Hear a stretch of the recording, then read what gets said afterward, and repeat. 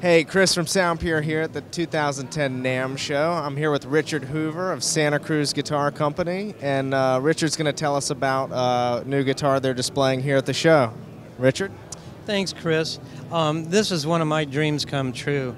This is a guitar that I've wanted to make for probably most of my guitar making career, and uh, all mahogany. And the concept is goes all the way back to the last depression, 1929 and this guitar was one that I had seen, a vintage guitar that I absolutely loved, but people never really respected uh, mahogany as a real tone wood. It's usually thought of as a cheaper wood, but now we're in the um, uh, you know the new depression, if you will, and what we wanted is a guitar that was comfortable and felt okay to buy. It's not a cheap instrument, because but we have uh, customers that are ready to buy an instrument, but they don't want to display uh, ostentation while other people are suffering.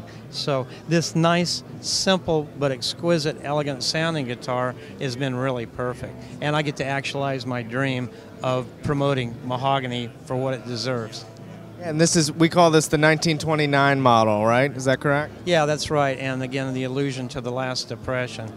And uh, we instead of making this a really uh, plain instrument without bindings, um, you can see the subtleness of this uh, violin purfling that runs on the inside. So it's made every, with every bit the sophistication of any Santa Cruz with the voicing and tuning, and uh, it surprises people. And how do you how do you describe the voice of this guitar? Um, this we make three different body sizes, and uh, the idea is we go from from a perfectly even EQ um, to slightly more and more bass in the in the bigger models. So people can choose, um, really almost like working the sliders on a graphic equalizer, what they'd want in balance.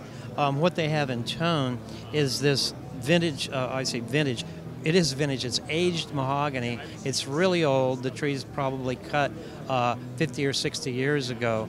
And so the sound of all of these is the classic mahogany tone that still retains the warmth of rosewood, but it has a little more sparkle, clarity, separation between the notes. So it's a really sophisticated instrument, and it records wonderfully. That sounds good for us. Well, thank you so much for telling us about this guitar, and uh, we're really happy to talk to you at the NAMM show, and good to see you as usual. Signing off from the 2010 NAMM show,